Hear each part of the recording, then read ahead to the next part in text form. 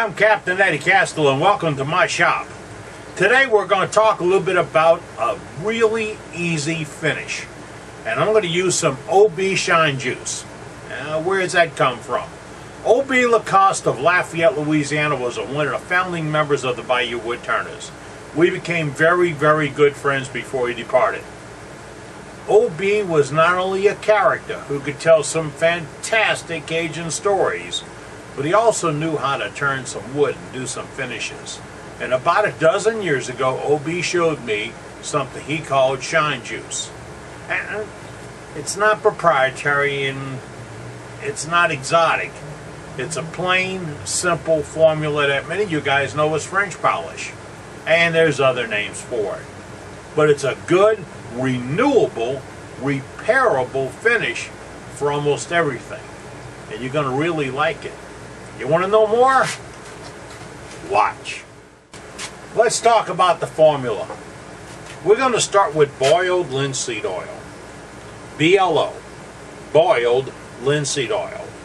Now, before you go out in the shop and find in the garden section where you put your hoe handles and outdoor wood handle tools in your wheelbarrow like I have, and you go out and find raw linseed oil, you don't use this and don't ever be ever, ever, ever, and then one more ever, try to make your own boiled linseed oil.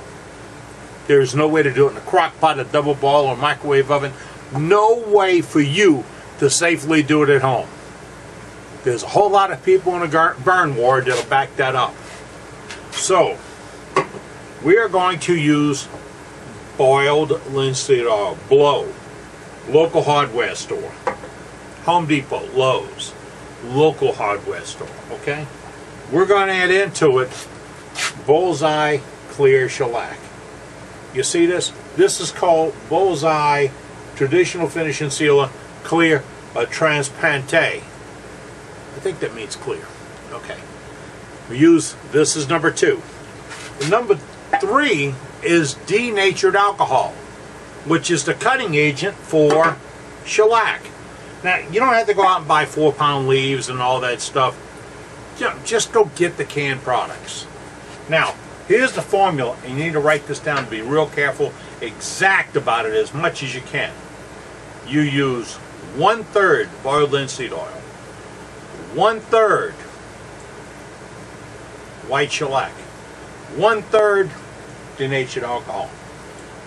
That's it. You got that? It was real complex. One, one, one. One part to one part to one part.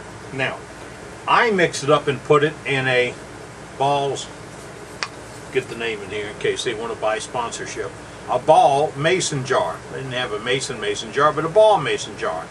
I put it in here. Now, this one, I packaged in 2004. Now, the only problem is it was a half an inch higher in 2004. What do you think happened to what part of it? It's got a rubber gasket, and I had denatured alcohol in there. So I've got metal, rubber, glass, denatured, denatured alcohol got through. Yeah, it escaped. So before this is good again, I'll have to add some more alcohol. Now, there, there lie the problem if you blend up a whole lot of it, if you blend up six ounce containers, and you don't use it for six months, it's going to lose alcohol. How much alcohol do you put back? Well, let's try this. Let's blend up one to one of the blow, bald linseed oil, and the shellac, one to one, and put it in a bottle. Eh, it could be a bottle sort of like this, or anything else. It could be a mason jar, one to one. And then when you put it in your dispensing container, which could be something like this from Harbor Freight, that's when you put one half as much denatured alcohol. So you put this much in the bottle, this being the exact measurement. And then you put this much, which is just as exact measurement, of denatured alcohol. Two to one which makes it one third, one third, one third. Now, Mrs. Patterson from 7th grade math would be very proud of me of working that out right now. okay. So you now have a bottle of one third, one third, one third. You see how this bottle is caved in? This is about two and a half ounces, and I put it in here about a week ago. That alcohol caused the bottle to cave as it escaped because it went through and the bottle yeah so I know that's a little bit light on on alcohol. How much? I don't know. So if I put an ounce in and you know you can mark the bottle like you do your favorite bottle of scotch and fill it back up to that point. Just do small amounts. All right now. We got that? We got the formula? Okay. Because this is getting long. I don't want it to get I looked for the poorest piece of wood in the shop. P-O-R-E-S-T, not P-O-O-R-E-S-T, poorest, with the most pores. And I found some of this laminated stuff to have, be pretty porous stuff. So it's really pretty though, when you put a good finish on it. So I hollowed it using my round cutter on my round bar, available on my website. Uh, and then I sanded it down, wet sand it with 150 paper. That's where we stopped at 150. I don't want to sand it so much that I wouldn't get a good effect on it. So now that I've got the block ready, sand it to 150. I dried it off because I wet sanded it. Um, and I got my juice mixed up. I think the next thing we got to do is put a finish on, right? Right, right. Just because it's you guys, I'm going to do this because I get these calls about how can you do that to that lathe? That's a beautiful lathe. Yes, it is. And I take care of it. But I just covered the bed with some Cut-Rite wax paper. Now, I'll put this in a fall catalog if you can't find it at your local grocery because this is special Cut-Rite wax paper. Yeah, it's so special. I lost track of it about a month ago and just found the box on the shelf. So, to me, it's real special. Look how dry this piece is. Let's go in a little bit closer. You see that? Now, it's amazing, but you can get cat's eye chatoyance with a piece like this. You really can, if you have it sanded and finished properly. Go ahead and shake up my stuff. I'm going to start off at about 200 RPMs and get it spinning a little bit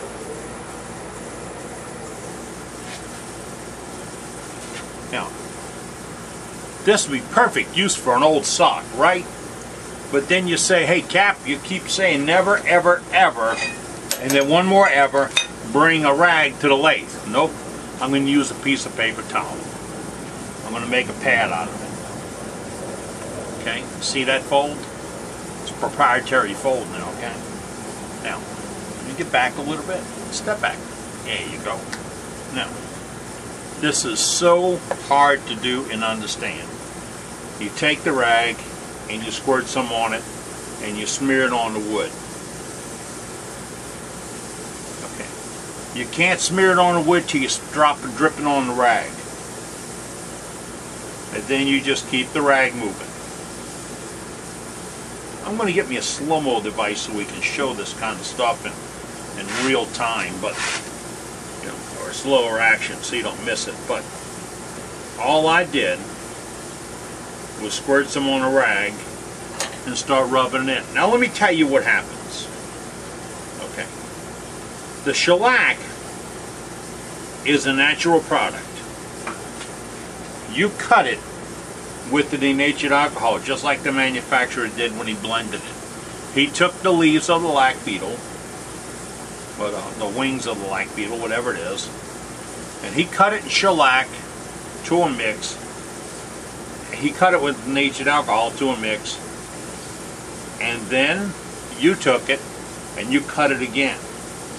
And the boiled linseed oil is a natural finish that's been around for hundreds of years. It takes a long time to cure, but you're not using it for the finish qualities. You're using it for the vehicle to polish the shellac and bond it in. Couple of things are happening. Do you, do you see the little shininess I'm getting on this right? This is pretty hard crust under here. because, and when I'm going to add more, I'm just going to keep buffing this in and working it in. Now the drawback to this finish is after you get a certain degree built up, you have to let it cure off a little while. Uh, maybe half an hour, 45 minutes, it'll congeal and tighten up a little bit. Then you come back and add some more. You always have to consider that shellac can go under any finish and shellac can go over any finish. And I'm saying reasonable finish. I don't know if you can do it over an automotive finish or a high-end polyurethane product or, you know, exotics. But run-of-the-mill finishes, it's okay. It is also food safe after a while. I'd say two, three days it'll burn off the alcohol and be food safe, just like most commercial finishes. Now if I was going to turn a bowl and put it on a counter to be used for fruit, I wouldn't use a traditional finish. I'd go to some place like Whole Food Company or or especially uh, firm. I think that whole Cost Plus Marketplace is one, and they sell walnut oil and other uh, nut oils. Get some of the nut oil and polish it with it. So.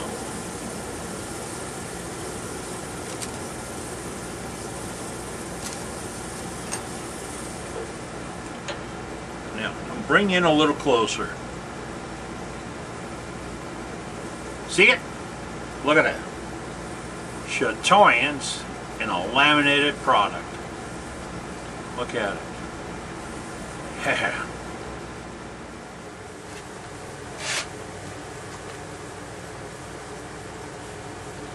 What I'm doing now is going orbital or elliptical or round and round. Um, and I'm filling in and crossing out some grain, some marks that'll be in there. I'm using part of the pad I hadn't used before. Got a little of the product on it. It'll make for a better finish when it cures up.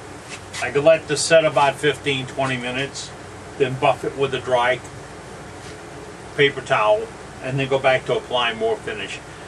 Take it off, build it up for a couple of days. I could get something that actually looks like glass. Or at some point I could say, okay, I filled it in, buff it off, let it set, and then cover it with a polyurethane, a high-end lacquer, a high-end varnish product, a poly white. Be amazed what will go over this. Do a test piece, but we'll go over it and look really good. So there you have it. From a dear old friend of mine to you. OB Shine Juice. If you need the formula, I'll be glad to send you a sheet. Just send me an email to this address right down here, and I'll be glad to send you that sheet. Or go to my website and look it up, eddiecastelin.com, and that's also where you can find the deals on the cutters, the bars, the Blackhawk sharpening rig, the template, all that other stuff I got in, inside that you need to have in your inside. Well, I'm Captain Eddie Castelin. I'm making shavings. Well, I'm finishing shavings, but I did make shavings earlier to get here. And I got to get this out the way because I got a really, really good project to show you. This one could be a little fun. See you soon. That one could be fun. This one is fun.